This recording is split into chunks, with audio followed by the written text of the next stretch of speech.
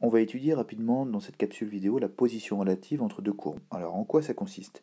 C'est tout d'abord de trouver les points d'intersection entre ces deux courbes, qui sont A et B, donc de coordonnées environ moins 0,41 et 2,41. Donc avant le point d'intersection A, nous avons une situation. Après le point B, nous avons une autre situation. Donc tout simplement, nous pouvons dire que la courbe représentant G est au-dessus de la courbe représentant F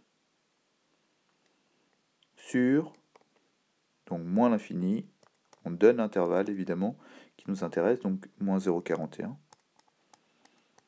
union donc cette fois-ci, c'est l'abscisse du point B, 2,41 plus l'infini. Et de la même manière, nous pouvons dire très rapidement que la courbe représentant la fonction f, donc ici une droite, puisque la fonction f est une fonction affine, est au-dessus de la courbe représentant g sur l'intervalle moins 0,41, 2,41. Voilà en quoi ça consiste d'étudier la position relative entre deux courbes.